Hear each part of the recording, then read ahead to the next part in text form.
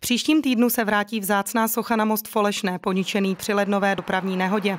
Zatímco s opravami vozovky ředitelství silnic a dálnic otálelo až do letních měsíců, o sochu, kterou vlastní Nové město, pečoval restaurátor už od samotné události, která se stala shodou okolností přímo v den prezidentských voleb. Zrovna ten den jsme volali panu restaurátory, který musel společně s hasiči zbytky a torza té sochy vytáhnout.